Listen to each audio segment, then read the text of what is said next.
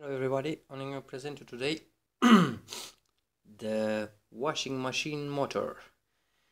And we're going to present you today how to make it, uh, how to test it with the battery and as well how to make it spin a DC motor to make some electricity. For this project we're going to need a salvage uh, washing machine motor like this, it's called universal motor and other few parts. Okay let's get to it. As I told you before we're gonna need um, the motor. So we're gonna turn it upside down and we're gonna see this particular model has a, um, a label on it.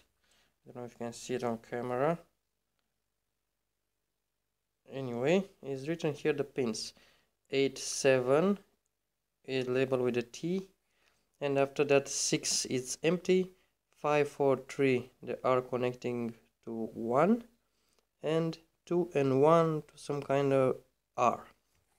So for this motor to make it run without any security and uh, nothing we have to first of all uncouple it like this. And we're gonna see first of all we're gonna see here two small wires like this. Let me light it up for you two small wires going in this side. These are the speed controller or something and they are following the connector. You go is gonna take here. We're not gonna use this one but we're gonna take a look of this. These are the brushes yeah. One and two. They are labeled uh, some kind of bluish color and black one. Okay blue and black. We're gonna see here.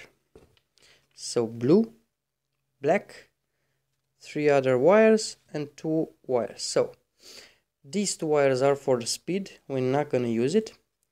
These two black and blue connecting the other brushes and the other three labeled as uh, as in the front they are the the coils inside. So to make this work we're gonna connect let me we're gonna connect like this. We're gonna we have here we're gonna connect one brush with one of the three coils. So one brush in this case is the blue one but doesn't matter. So one brush with one coil. The other brush is gonna stay focus like this see? And uh, we have two more coils. We're gonna use one just one. In this case is this gray one. Doesn't matter which one they all work the same. So we have connected one brush the blue one with one coil which is the orange one. And the other brush is here.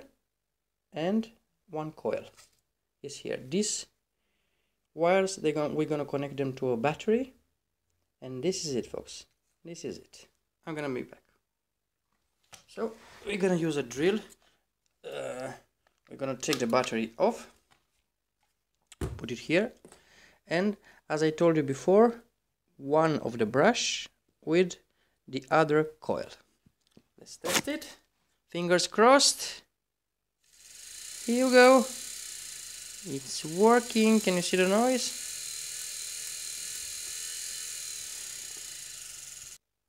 You can add some uh, scotch tape to the motor to see it actually spinning. Here we go. I'll put it there.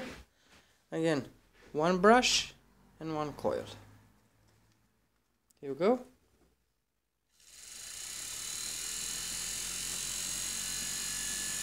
This is it folks. There you have it. There you have it. With the battery you can run a washing machine motor. And it has quite a few power in it. Basically what can you do with this one? You can even make an electric bike or you can spin a, a DC motor to make some electricity or many many things. Somebody else has done it many of them uh, all succeeded. I'm gonna put the links in the description below. So remember we got two brushes like this. You have to follow the wires. Two brushes and three coils. One brush we're gonna connect to one coil. Doesn't matter which one. And we're gonna solder it here. The other brush with another coil.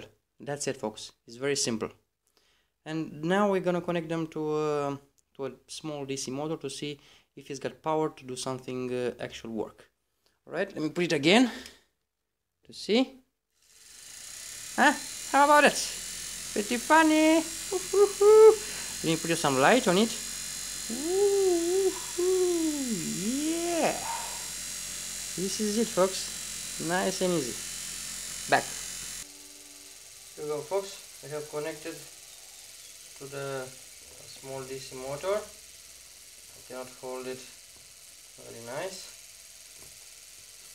But you can see it's actually working. 9.88 but actually going more but